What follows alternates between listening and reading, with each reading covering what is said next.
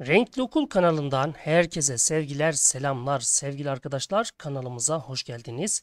Bu videomuzda 6. sınıf Türkçe ders kitabı Ormanlarımız metnimizin etkinliklerini birlikte yapacağız.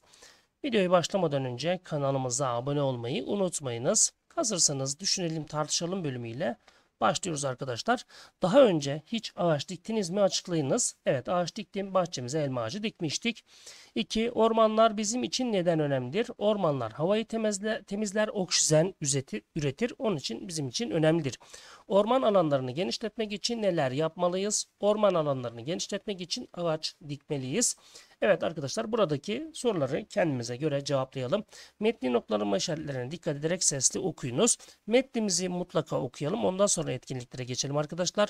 Metni okurken anlamadığımız yerler varsa veya not alma gereken yerler varsa buraları not alalım. Metni daha iyi bir şekilde anlayalım. Şimdi birinci etkinlikle devam ediyoruz. Okuduğunuz metindeki anlamını bilmediğiniz kelimeleri yazınız. Anlamlarını tahmin ediniz. Tahminlerinizin doğruluğunu sözlükten kontrol ediniz demiş arkadaşlar. Moloz artık kullanılmaz halde taş, toprak kalıntısı. Kelime anlamı taş kırıntıları toprak ve kireçten oluşan döküntü. Mineral madde içeriği doğal şekilde oluşan kristalleşmiş katı bir madde.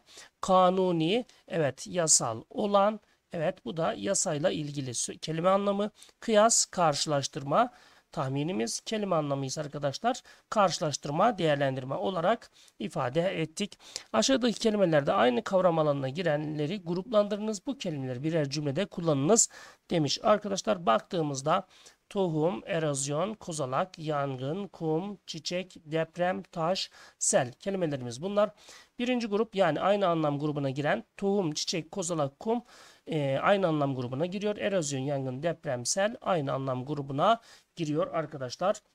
E, devam edelim. Anlam grubu olarak da arkadaşlar biri de burada ne vermiş? Bir bitkinin işte tohum, çiçek, kozalak, kum e, belli bir e, grupta gruplanmış. Erozyon, yangın, depremsel ise işte doğal afetler olarak gruplayabileceğimiz bir şekilde. E, cümle içinde kullandık. Domates tohumlarını bahçeye diktik. Burada tohum kelimesini kullandık. Bahçedeki çiçekler açmaya başladı.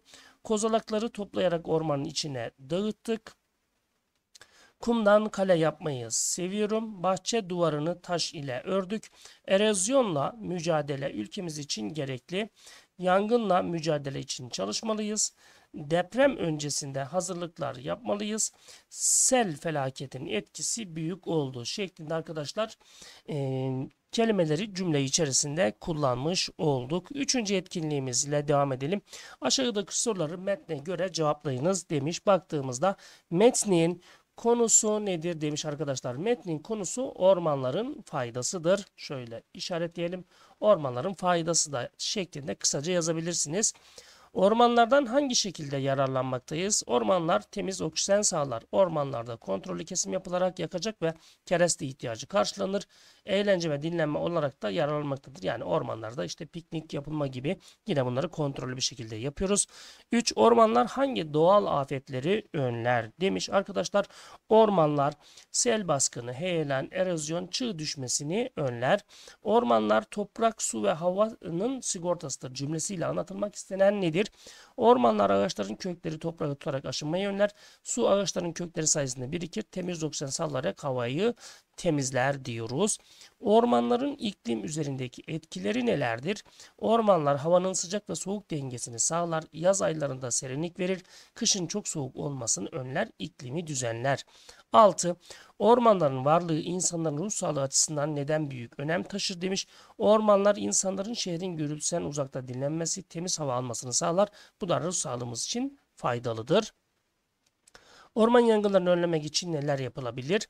İnsanlar bilinçlendirilerek orman alanlarında piknik yaparken ateş yakmadan veya kontrollü davranarak yangın önlemleri alınabilir. Metnin ana düşüncesi nedir demiş arkadaşlar. Metnin ana düşüncesi ormanlarımızı korumalıyız olmalıdır. Metinden öğrendiklerimizi kısaca yazınız demiş. Ormanların birçok afeti engellediğini, insanın ruhu üzerinde olumlu etkileri olduğunu öğrendim şeklinde ifade edebiliriz.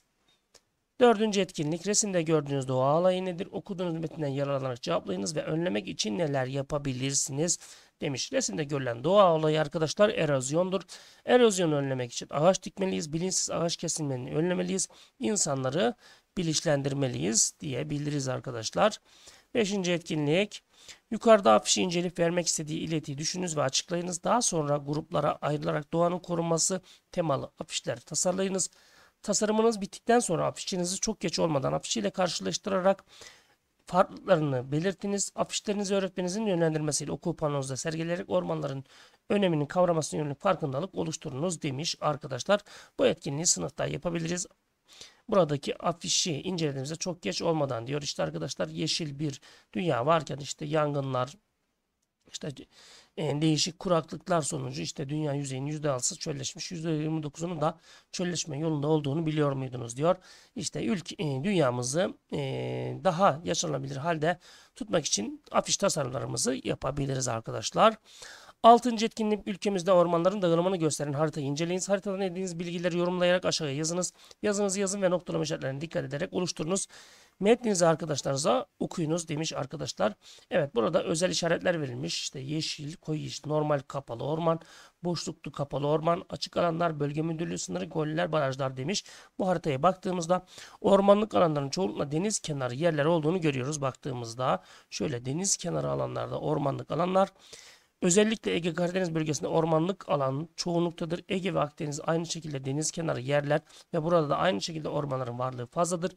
İç Anadolu, Doğu Anadolu ve Güneydoğu Anadolu bölgesinde ormanlık alanlar çok azdır diyoruz arkadaşlar. Şöyle de işaretlememizi de yapalım. Evet Karadeniz bölgesinden bahsettik. Ege ve Akdeniz kıyılarından bahsettik. İç Anadolu bölgesi ve Doğu Anadolu, Güneydoğu Anadolu bölgesinin ormanlık durumunu değerlendirmiş olduk. Sonraki metne hazırlık bölümümüz var arkadaşlar. Doğudaki çeşitli ağaçlardan topladığınız yaprakları bir resim kağıdına yapıştırınız. Bu yaprakların ait olduğu ağaçların adlarını, yaprakların adlarını yazınız. Ağaçlardan biri hakkında araştırma yapınız demiş. Evet biz ıhlamur ağacı hakkında bir araştırma yaptık arkadaşlar. Şöyle paylaşalım. Ihlamur ağacı genellikle ılıman iklimlerde yetişen güzel kokulu çiçeklere sahip ve gölgelik olarak kullanılan bir ağaç türüdür. Genellikle parklarda, bahçelerde ve cadde kenarlarında yetiştirilir. Ihlamur çiçeklerinden yapılan çay insanlar tarafından yaygın şekilde tüketilir ve rahatlatıcı özellikleriyle bilinir diyoruz. Evet. E, peki diğer neydi arkadaşlar? E, kavak, işte etrafımızda e, yetişen ağaçlar kavak, çam, meşe, ıhlamur ağaçlarının yapraklarını yapıştırabilirsiniz diyoruz etrafımızda veya farklı ağaçlar da olabilir arkadaşlar.